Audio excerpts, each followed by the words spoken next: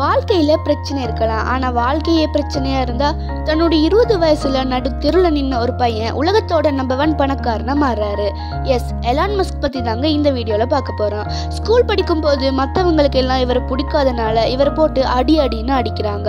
தன்னுடைய இருபத்தி ரெண்டாவது வயசுலேயே நாம் இப்போ யூஸ் பண்ணுற பேப்பல் என்ற அப்ளிகேஷனை தனியாக தான் உருவாக்கினாரு.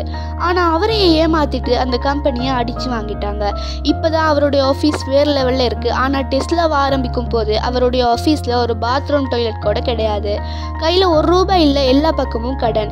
இவர் பைத்தியம் ஆயிட்டார் போலன்னு எல்லாருமே நினச்சாங்க. அப்போ தான் இவர் ஸ்பேஸ் எக்ஸ்னு ஒரு ப்ரொஜெக்ட் உருவாக்கி ரெண்டாயிரத்தி ஆறில் ராக்கெட்டை அனுப்பினார் ஃபெயிலியர் ரெண்டாயிரத்தி ஏழில் ட்ரை பண்ணுறாரு ஃபெயிலியர் ரெண்டாயிரத்தி எட்டுமே ஃபெயிலியர் இந்த வாட்டியும் ஃபெயிலியர் ஆச்சுன்னா ரோட்டில் பிச்சை எடுக்கிறது தான் ஒரே வழி என்ற சுச்சுவேஷன் ஆனால் கடைசி முயற்சியில் வெற்றிகரமாக ராக்கெட்டை லான்ச் பண்ணுறாங்க அடுத்த நாளே நாசால இருந்து பத்து மில்லியன் டாலர்ஸ்க்கு ப்ரொஜெக்ட் சைன் பண்ணுறாங்க நம்ம யார் என்றது முக்கியம் இல்லை நம்மளால் என்ன முடியும் என்றது தான் முக்கியம்னு எலான் மஸ்க் நிரூபித்து காட்டியிருக்காரு.